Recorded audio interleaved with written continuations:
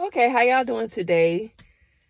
It's been a long day, y'all. It's Monday. Y'all know Mondays can drag or whatever, but I hope y'all had a wonderful day.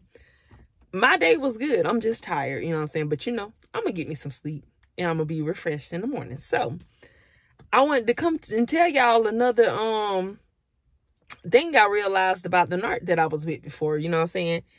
Because I ran across a video about mental illness and he was saying um some reasons why the narcissist doesn't chase you or whatever. And so the reason they don't chase you, like if, if a narcissist doesn't chase you, is because they want you to chase them. Okay. And I believe that to be true because the very, every since the first time I actually chased behind the narc, because I didn't understand what was going on or whatever. I didn't understand the discard, you know what I'm saying? But he when I when I chased him, this man blocked the number. I created another number. He I called him from it. He blocked that number too, blocked me on all social medias. Everything that we was connected to, he blocked me on everything. And that thing crushed me. So that's what the discard is all about. Basically, that's that's what it's meant for, is to break you down and make you feel like you were nothing to them and then it'll make you chase after them. So I did that the very first time around that he discarded me for for real, for real. You know what I'm saying? Discarded me or whatever and just up out of the blue walked away. So the way he had me then, calling, begging, and pleading with him to come back home, he wanted that reaction every single time he discarded me. And so it was like he would come back into my life so he could do the discard a little bit different than he did last time because I need that reaction that she gave me the very first time that I discarded her. And so he can't get that no more. I promise you, after I told that man that I feel like an empty well without him and that I need him in my life, baby, I, I was at the lowest of the low at that time. I ain't never been that low before. He took me there. I went all the way there. I went low, low, ready to check out. That's how low I went. And so I made a vow to myself that I wasn't going to go that low no more. I might still put up with some of his foolishness at that time as we got back together and kept going through this thing over and over, but he can't get me there no more. That right there was a no-no for me. So I went on ahead and I'm just like, you know what? Nah, you can do what you want to do, sir. But I ain't gonna do that right there. So whenever he would discard me or we'll be in a separation or whatever, I don't reach out. I don't say nothing. His family members will call me. His family members or him will reach out to me. I don't say nothing to nobody. Now, if I didn't stick, stand on anything that I was going through when I was with him, I stood on no contact. He know I could play that game. That's the game that I can win because I don't call. I don't do no check-ins. I don't do no checkups. I don't do no. I just want to see if he won't. He gonna answer my call. I don't do none of that. Once you block me on everything, that light right there, I was like, oh no, we we not gonna do this again. So once I made that clear to him that blocking me don't do nothing for me no more, he stopped doing that.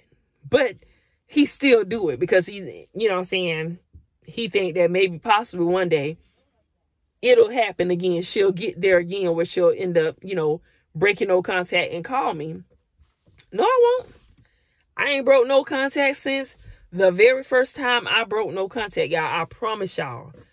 After the first time he took me through that and I chased him and he blocked me and shut the door in my face every time I tried to make a, a, a um get through to him, baby, you won't get that no more. That's a wrap right there. And that, I promise you, I stood 10 toes down on that one right there. You, he even came back one time and I remember him saying to me, I don't know why when I leave, I don't know why you just don't call me if you need me, if you need money, if you need me or something happens to you or whatever. You could have called, told my son to call you, me or whatever, like when I ended up in the hospital. Why you didn't call me? For what? You discarded me. You're the reason I'm in here. So what I'm going to call you for? Oh, you could have just called my family. You could have called me. You could have, I, I ain't gonna never just stop not answering you like that or whatever. I might block you and stuff like that. That's him trying to suck me in to being a sucker to chase him again. Mm-mm. He couldn't get me there. So he he never changes it up though. Every time a discard is coming, I get blocked on everything. That's how I knew this time a discard was coming up because I got blocked on everything. His actions started changing. He started acting different. I'm telling you, just wake up one morning and he's like, you know what? I'm I'm over this. I'm done. I'm finna go. That's basically how I be. I'm finna go. And I'd be like, what the heck happened? Lost in the sauce. The night before could be so good. I'm telling you, he could wake up and turn the light switch on and be like, I'm out of here. I'm gone. Yep. With a straight face. I'm about to go. I'd be like, go well. I'm going back to where I'm going. What that mean? And he'll proceed to just start packing his stuff. I'm like, who the heck this man think he is? But now I know he think he is it, baby. He he think that he the best thing since sliced bread. And I made him think that. Me and a whole bunch of other women made him think that. But I think I I put the icing on on the cake heavy, baby. He was really, really smelling himself with me. He knew he had me, but psych, psych, one day a change will come. And just like he had that light switch effect, I had light switch effect too. Because when he discarded this time, baby, I was in agreement with him. I said, you know what? I think that's best. When I said that, his jaw dropped. Like, what? Yeah. I said, I agree with you we need to go ahead and let things go, baby, because I've been done since Thanksgiving Eve. He's sitting there looking at me like, what? I'm like, yeah. So even though you thinking now that you had the idea first, I actually had the idea first. I just let you go ahead and do what you do best. I let you walk it out. And when you was ready to go, I was ready for you to go too. He ain't like that. Not one bit. Even tried to gaslight me before he left.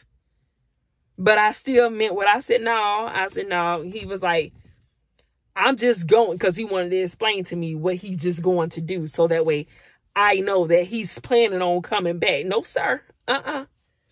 This time around, this was the final discard for me. Whether it was for you, it was definitely the final discard for me. So before he was walking out the door, he was just like, you know, while he grabbing his things up, putting them in the ride, he's like, I'm just going down there to go and solidify the place and make sure I got it. And then, you know I'm saying? So that way when we traveling, we got somewhere to stay. I say, baby, you ain't got to worry about that. I said, like I said, you leaving is the best thing for us. And he's sitting there like, what? I'm like, yeah. Because even you had the audacity to wake me up after I done been up with you all night long, arguing with you, and you called the police on me. It had the audacity, which he was entitled to that audacity, y'all, because I'm telling you, if you ain't seen the the uh the day he left and all the you gotta go back to the beginning. I didn't said all this stuff before, but just in case somebody popping in in the middle of my stories or whatever. This man done he done did this so many times that I would give this man a ride to leave me.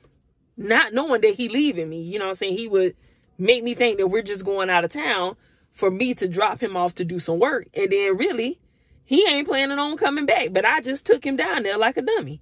But I don't know what's going on. You know what I'm saying? So he woke me up that morning and was like, I got the money. Can you can you take me?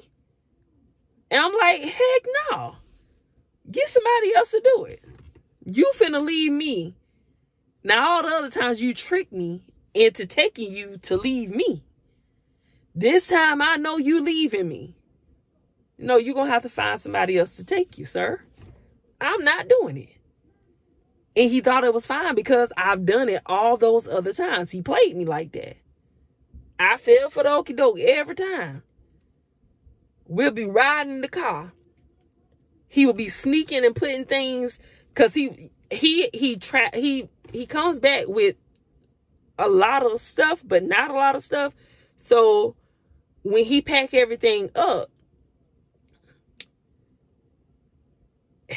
he leave things behind. So it it you know it, it's all of that is in the in the beginning of this story. You got to go back to get all that because I don't want to go all the way back into all that stuff or whatever because this video is about him um wanting me to chase him you know and break no contact or whatever. So that way he could be like oh because he did. I'm telling you this video that i was watching today mental illness that right there it hit the spot because so much of what he was saying i've been through that. So like he was like um dang i lost my train of thought so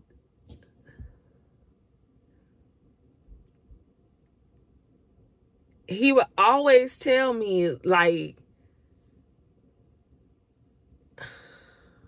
how can I say it? So like he basically would like gaslight me? Like dang i don't know how i'm trying to say it. But either way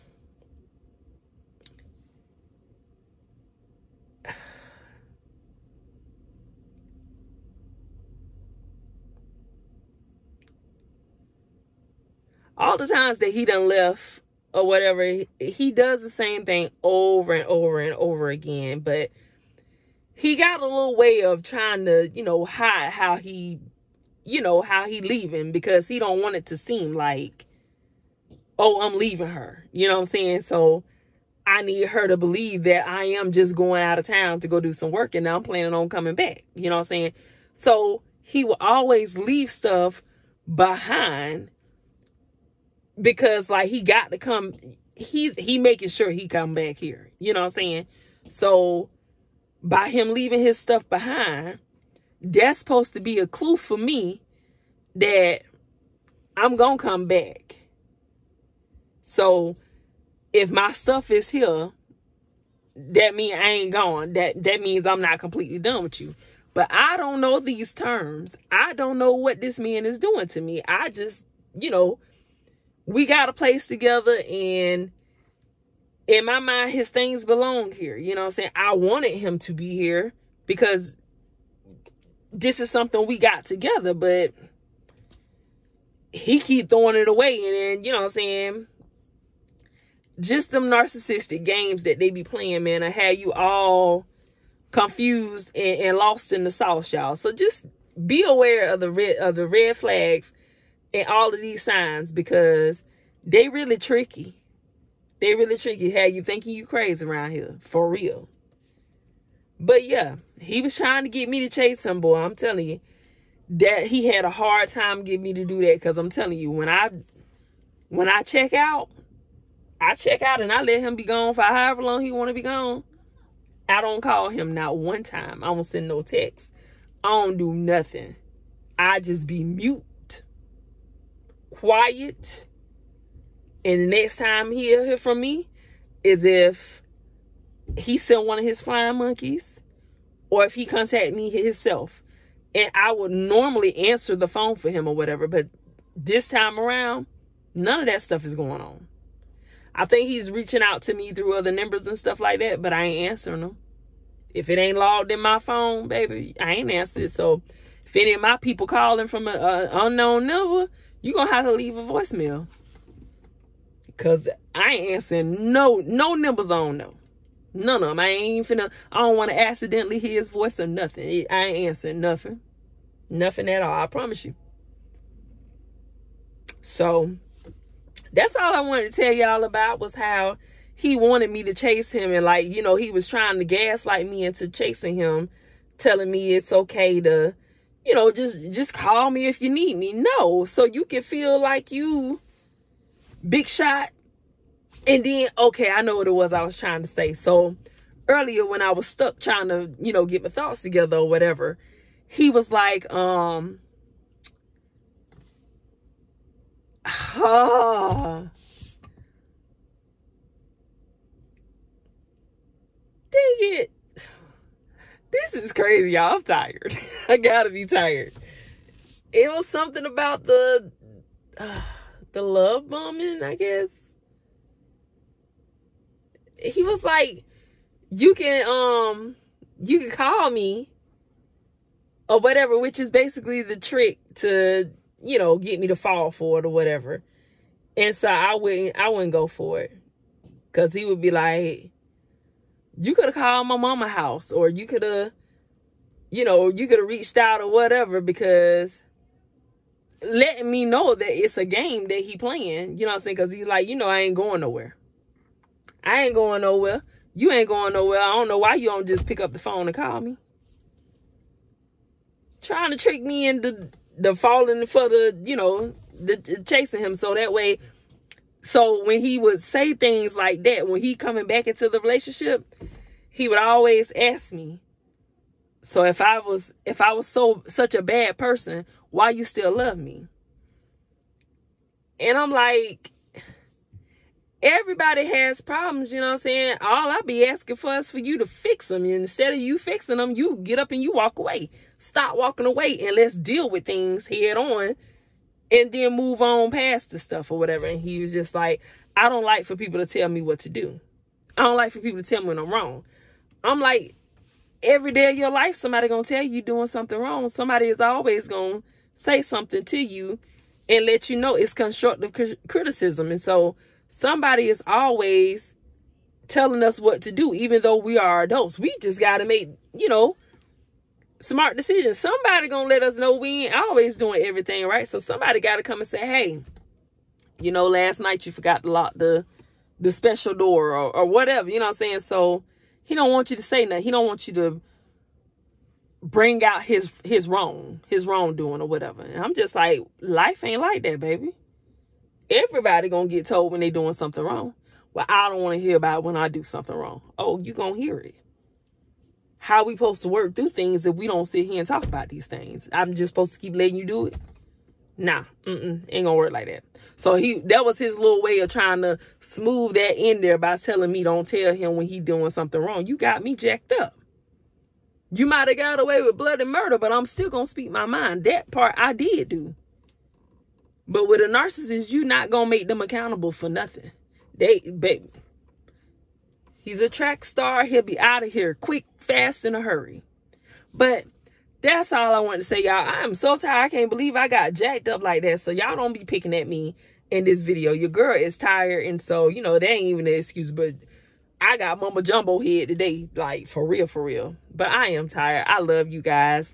I thank you for all you do. Remember, fall in love with yourself every day, whether it's a little bit at a time, one day at a time, however you need to do it, no matter what, fall in love with yourself because you are worth it and you deserve it. And guess what? I love you. So, hey, have a wonderful day. Stay healthy. Stay prayed up grow you something because we don't know what society is going to be like in a little bit. Just plant you something, get your own stuff going on. Stay ready so you don't got to get ready. Okay?